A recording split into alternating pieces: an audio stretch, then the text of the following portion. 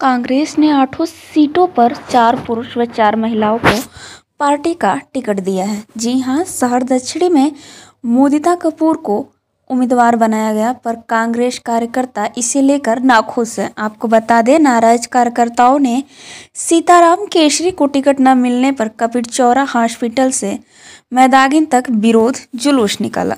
Uttar Pradesh Congress committee सदस्य अफरोज अंसारी ने कहा कि सदस्य दक्षिणी में कांग्रेस द्वारा जिस प्रत्याशी को चुना गया है, वो हमें मंजूर नहीं है। इसका कारण यही है कि हम भारतीय लोगों ने उन्हें कभी अपने जी, मैं अफरोज अंसारी, सदस्य उत्तर प्रदेश कांग्रेस कमेटी। और वर्तमान में यहाँ महानगर में उपाध्यक्ष हूँ और तीन मरतबा से पार्षदी चुनाव में मैं प्रभारी रहा करता हूँ। और बताएँ। आ, किस तरह का विरोध प्रदर्शन हम है? लोग जो कांग्रेस प्रत्याशी शहर दक्षिणी में कांग्रेस ने दिया है हम लोग उनका उनको मंजूर नहीं करते। मंजूर न करने का कारण है कि हम लोगों ने कभी उनको चेहरा अपने बीच में नहीं देखा।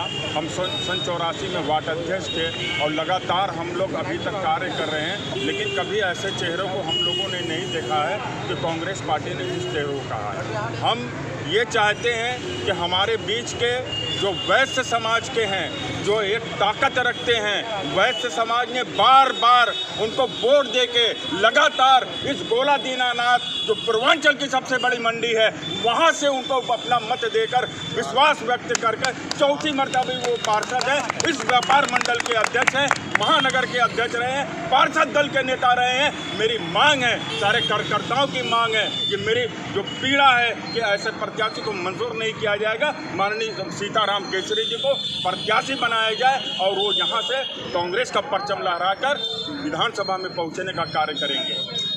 जैसा कि विधान अभी विधानसभा चुनाव भी है इस तरह का विरोध विरोध प्रदर्शन करके कांग्रेस पार्टी को कितना नुकसान हो सकता है इससे ये हमारा कांग्रेस के प्रति विरोध नहीं है हमारा विरोध इस कैंडिडेट के साथ है जो जो निर्णय हुआ है, जिस प्रत्याशी को हम कार्यकर्ता कोई भी यहाँ सारे वार्ड अध्यक्ष खड़े हैं, यहाँ महानगर के पदाधिकारी खड़े हैं, यहाँ शहर दक्षिणी के जो आठ कांग्रेस के पार्षद हैं, दो दो मरतबा, तीन तीन मरतबा के जीतते हुए, वो यहाँ मौजूद हैं।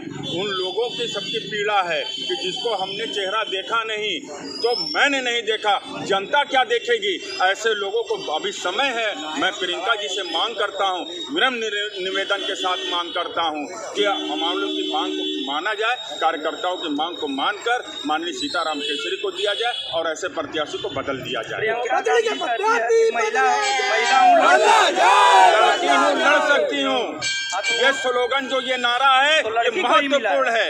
ये लड़की हूँ लड़ सकती हूँ ये महत्वपूर्ण नारा है। अब जैसे पुरुष भी लड़की हूँ लड़ सकती हूँ लेकिन आप हमको बताइए शहर की तीन विधानसभा सीट हैं दो महिलाओं को दे दिया जाता है।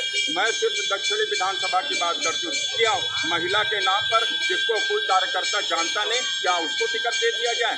मेरा मेरा कोई विरोध नहीं है।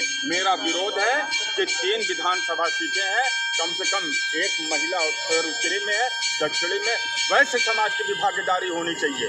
मतलब वह समाज नाराज़ है।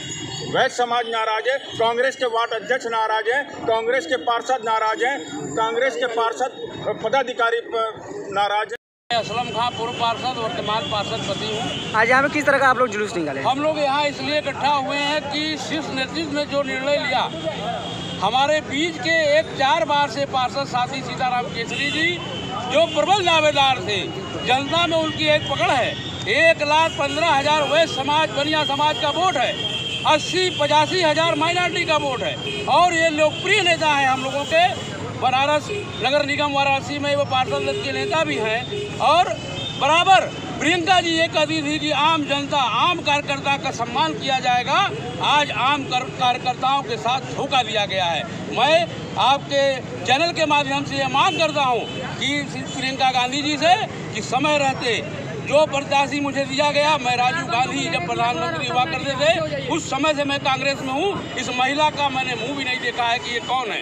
ऐसे लोगों को, जेबे के लोगों को, बहुत बड़े लोगों को यदि प्रत्याशी बनाया गया तो यह लड़ाई अच्छी नहीं होगी। वाराणसी संसदीय क्षेत्र, मोदी जी का संसदीय क्षेत्र है। यहाँ यदि सीताराम जी को टिकट दिया गया तो निश्चित रूप से दक्षिणी विधानसभा में हम लोग कांग्रेस का परचम लहराने का काम करेंगे। जय हिंद, जय कांग्रेस। क्या कहेंगे आप मतलब आज? हम लोगों का विरोध ये है कि जो पात्र है जिसको टिकट देना चाहिए उसको ना दे करके किसी खंड व्यक्ति को दे दिया गया वो हम लोगों को माने नहीं कहीं आपकी मांग पूरी नहीं होती पूरा तो क्या करेंगे आप? यदि मेरी मांग नहीं देखिए मेरा अधिकार है अपने नेताओं से अपनी बात को रखने का। मैं कार्यकर्ता हूँ मैं जमीनी हकीकत को जानता हूँ। वो सिर्फ़ नेतृत्व है वो बहुत बड़े नेता लोग हैं वहाँ बहुत लेकिन हम लोग जमीनी हकीकत जानते हैं कि कौन जीतेगा, कौन हारेगा। किसके साथ जनता है, किसके साथ क्या है, वो मुझे पता है। हम लोगों की मांग है कि सीताराम जी के दक्षिणी विधानसभा तीन सौ नवासी पे पुनर्विचार करे पार्टी। या ऐसे प्रत्याशी को दे कि जो चुनाव हम लोग जीत के विधानसभा में सीताराम जी को पहुँचाए। कहीं आपकी मांगे पूरी नहीं होती क्या आप किसी और पार्टी से समर्थन नहीं करेंगे ऐसा कुछ नहीं है। मैं हम लोग कांग्रेस में रहेंगे। निष्ठावान कार्यकर्ता है चालीस वर्ष बिताए हैं। और जो वर्ष मेरा बचा है जीवन का वो भी मैं कांग्रेस में बिताऊँगा। लेकिन मैं अपनी आवाज़ को आपके माध्यम से शीर्ष नेतृत्व को पहुंचाना चाहता हूँ। ठीक धन्यवाद।